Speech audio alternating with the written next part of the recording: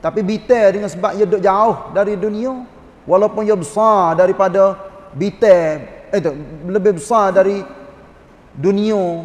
Lebih besar daripada bulan. Tapi cahaya dia nampak sikit tak sama dengan bulan.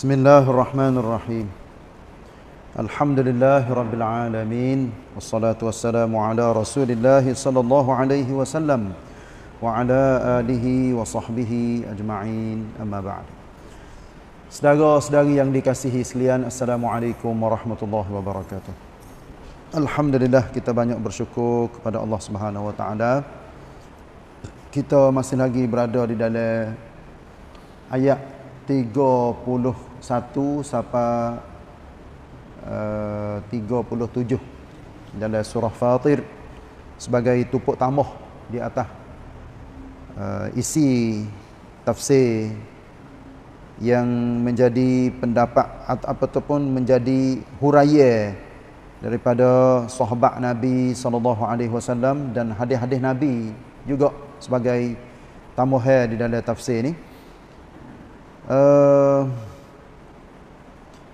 hubungi dengan berilmu. Manusia ni memang dia kena berilmu apabila dia nak hidup di atas muka dunia. Siapa mati, tiap-tiap orang kena berilmu. Ambil daripada ayat yang ke-32 dalam surah Fatir Nabi SAW bersabda dalam satu hadis yang dicerita daripada Abi Darda radhiyallahu anhu. Dia katanya ni Nabi sebut man salaka tariqan yatlubu fiha ilman salaka Allah taala bihi tariqan ila jannah. Sesiapa yang berusaha jalan untuk menuntut ilmu maka Allah taala sediakan jalan kepadanya untuk pergi ke syurga. Wa innal malaikata latad'u ajnihataha ridan li talibil ilm. Sesungguhnya para malaikat sentiasa buka sayapnya redha terhadap orang yang belajar ilmu.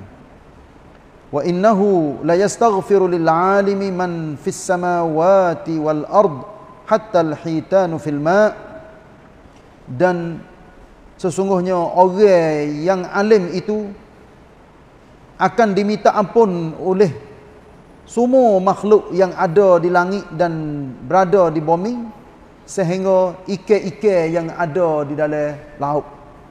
Pakat minta ampun kepada orang alim. Wa fadlul alimi 'ala al-'abidi ka fadlil qamari 'ala sa'iril kawakib. Kelebihan orang alim berbanding dengan orang yang rajin beribadat tapi tidak alim. Rajin saja wa amal, tapi tuan tak ada ilmu. Kelebihan orang alim banding supa dengan bulan dengan bintang. Bulan nampak cerah sebab dia duduk dekat dengan dunia.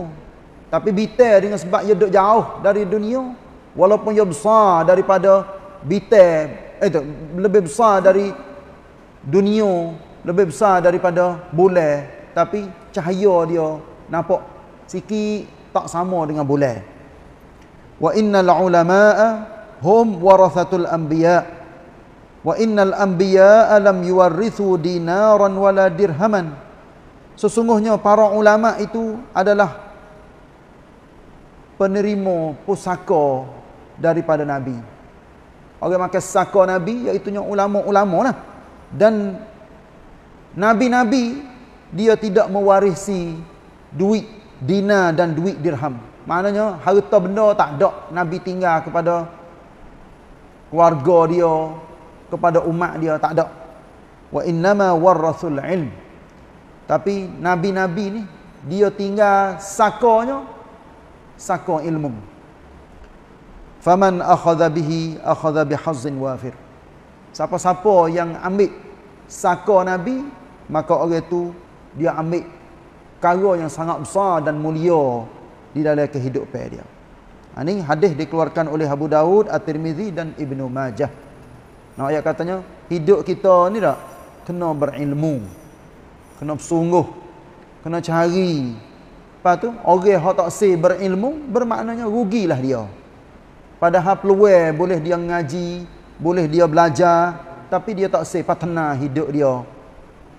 Tak say dengar, tak say baca, tak say cari, tak say tanya, tak say belakang tu. Cik katanya orang tu, dia pick wong con ciwit dia. Tak say patena, tak say tahu, dan sebagainya. Masuk pula ayat yang ke 33. Dalam surah Fatir 33, 34. 35 Hubungi dengan ahli syurga apabila mereka duduk di dalam syurga. Allah Ta'ala akan bui perhiasan yang sangat banyak. Pakar gelai-gelai mah, tali tekok. Pakar tu, pakar ni, pasal hak harai di atas muka dunia orang lelaki pakar, tapi di dalam syurga halal. Pakar mah, pakar setera dan baju-baju yang begitu berharga kalau nak kira dengan dunia ni.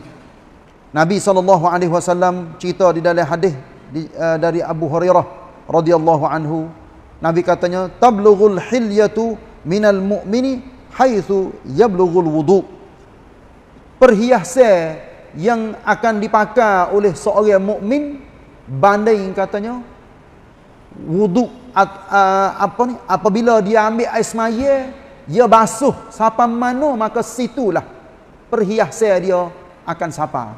Kalau pakai gelar tangan boleh jadi siapa siku kali. Kalau pakai di dunia ni yang suka demo ke? Apa nama omong mari bukit ke gano. Ha tu. Pakai gelar tangan banyak gitu mo, tapi akhirat sikit lagi masya-Allah adalah comel. Nah, muka putih, bersih, boleh pakai perhiasan gotu gani gotu gani. Supaya juga hadis lain hak Nabi ayat katanya, orang yang selalu bear ataupun azan semasa hidup dia. Sikit lagi tekok dia ni panjang. Kalau kita tengok tekok panjang manusia atas dunia, kita berasa katanya, eh, apa nampak tak serupa dengan orang, serupa dengan kering koyau. Nah, sebab apa? Sebab dia pergi bubuh besi di tekok dia ni sejak daripada kecil-kecil lagi. Pau klum puak-puak dia, tekok panjang belakang. Kita tengok sekaligus nampak serupa dengan eh apa ni tak serupa dengan orang. Tapi akhirat sikit lagi comel yang Allah Taala bui kepada orang-orang yang sentiasa bai ataupun azan di di apa? Di di dunia ni. Lepas tu kelebihan bagi orang bai ni saya set ha orang bai. Ketikanya dia bai tu sejauh mana suara dia siapa maka benar tu akan duk minta ampun kepada Allah minta dengan Allah supaya Allah apung dosa bagi dia. Gaman? Sebab tu kelebihan orang ber besar. Kalau kita tahu nak puasa nak berubuk. Puasa nak berubuk ber. Sebab semua bote pasir. Gapo semua ada duduk di keliling selama mak sejauh mana suara siapa benar tu duk minta apung.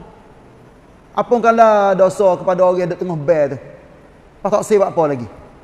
Supaya Nabi rakyat kalau sekiranya orang tahu kelebihan bear dengan sahnya pertama semaya alik belakang tu email pakak berebuk siapa kau nak jemput uni sekalipun orang tu nak jemput uni. Tapi bila kita tengok setengah-setengah orang mari ke masjid cerai. Boleh berebuk hak sungguh. Tapi wak ada jalan ngok-ngi ngok-ngi ngok-ngi tasir semaya di, di sah yang pertama. Padahal peluang ada nanti nak duduk sah lip belakang setengah-setengah nanti nak nak duduk bawah kipah dan sebagainya. Tak boleh ha, ni tempat aku ni. Duduk cong tempat dia dan sebagainya. Ni baiki dah. Kita apabila kita tahu daripada hadis-hadis Nabi daripada ayat-ayat Quran maka kita prap diri kita. Tujuan kita ngaji kita nak amal. Bukan nak perada-perada dengan ilmu oh aku ngaji dia dengan tok guru tu 30 tahun ngaji tapi tak bekah dalam hidup ไม่มีการเปลี่ยนแปลงไม่มีการพัฒนา gapo guna kita belajar kita ngaji kalau sekiranya kita tak amal kita tak guna Amal bukan arti katanya kena duduk atas tikar semaya sehari pagelak. Bukan. Bukan arti amal tu kena duduk semaya, kena duduk rokok. Ganyih, dahi. Siapa ke hitai dahi. Tak, tak mesti. Amal di sini artinya guna di dalam kehidupan kita. Sama ada hak baik, kita amal, kita buat. Hak jahat, kita amal pasal tinggal. Itu dah ilmu yang kita dapati. So lagi Nabi ayat sallallahu alaihi wasallam Man labisal harira fid dunya lam yalbashu fil akhirah. Siapa-siapa yang pakai kain setera ni orang lelaki ni.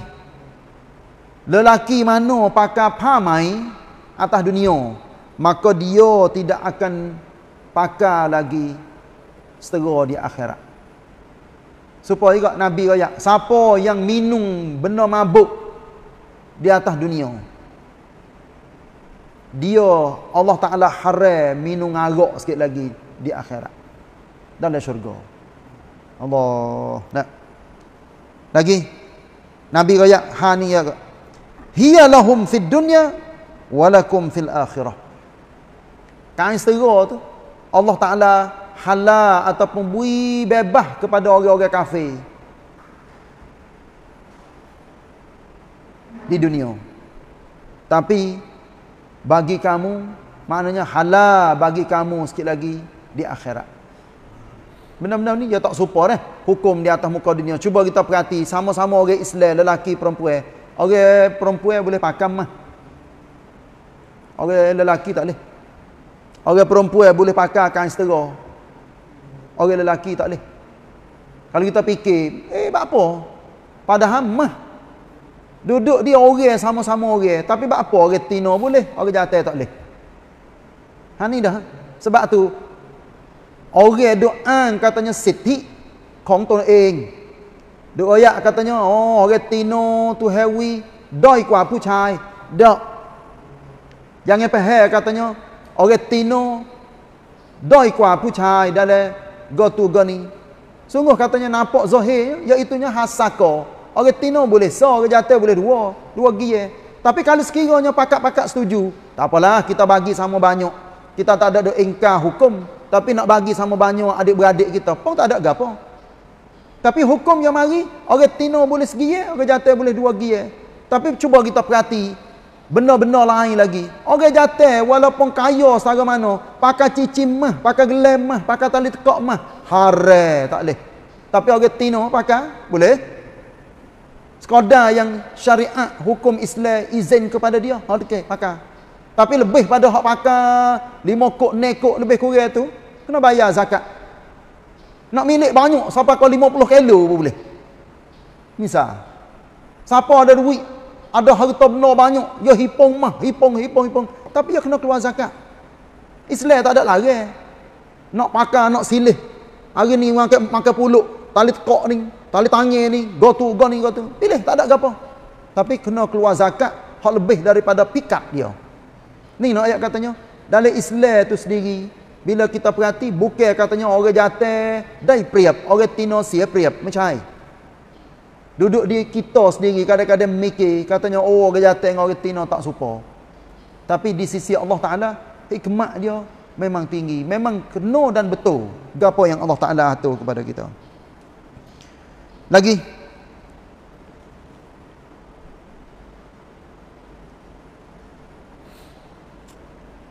Sebagai akhir ini Apabila ahli syurga masuk duduk di dalam syurga semua ahli syurga pakat syukur terima kasih kepada Allah Subhanahu Wa Taala dengan ucapan yang sudah pun saya baca dah kemarin. Nah, ayat yang ke 34 dan 35.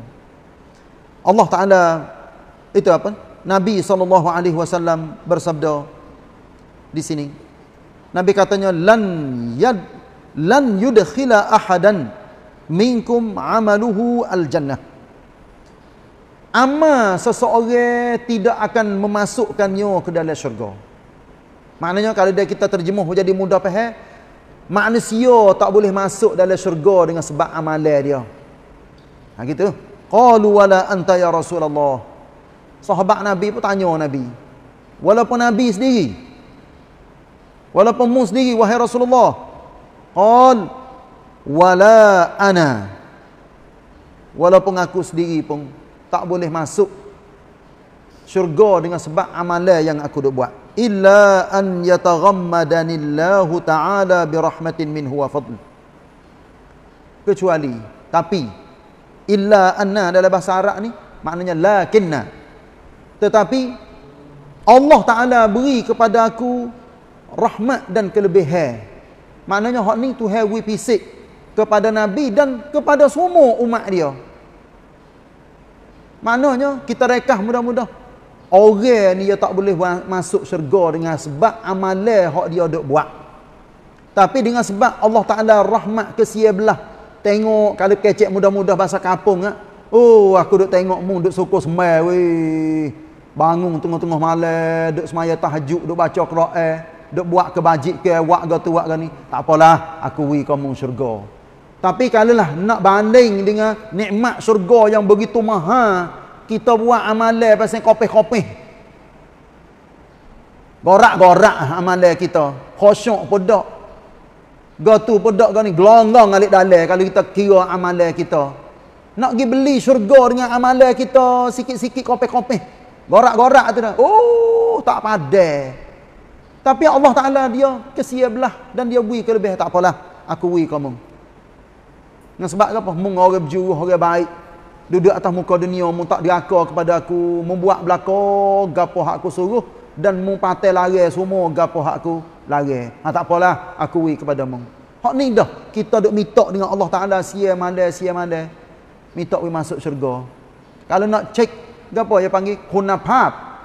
Kongkan patibat. Kita tiap-tiap hari saya duk berasa gelonggong banyak. Nah. Kalau nyo ngak nyo komang ya panggil. Nyo tak ada isi. Ada purung kecil, ada sabuk banyak. Ha gitu. Tak ada isi, tak ada air. Pah, macam mana kau dengan kita hok duduk di atas muka dunia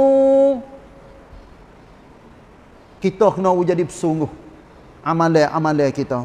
Akhir sekali iaitu ahli syurga sebut tidak apa tidak disentuhi uh, oleh apa? Kami tidak akan merasa penat lelah di situ dan kami juga di situ tidak akan merasa letih lesu. Dua perkataan di dalam ayat 35 iaitu nasabun dengan lughub nasabun maknanya penat lelah lughub artinya letih lesu. Yang Allah royak di dalam ayat ni ulama mari royak fiha ana'un wala i'ya'un wan nasabu wal lughub kullun minhuma yusta'malu fit ta'bi Iaitunya orang-orang ahli syurga pakat royak. Ya Allah, mujurnya kami boleh duduk dalam syurga. Tidak ada penat, lelah, letih, tak. Yang memberi kepada kami. Ha, ini nak, nak, nak menunjukkan bahawa semua tu menunjukkan bahawa kesenangan yang abadi dan tidak ada penat lelah walaupun sikit. Bila seseorang itu berada di dalam syurga. Lepas insya-Allah kita sambung semula eh ayat yang ke-30 ni 37 walaupun baca dah. Tapi adanya huraiannya di dalam tafsir insyaallah kita akan sambung ni hari ni hari Khamis. Lepas tu kita sambung hari pagi hari Sabtu wallahu a'lam wa sallallahu ala nabiyyina Muhammad wa ala alihi wa sahbihi wasallam wassalamu alaikum warahmatullahi wabarakatuh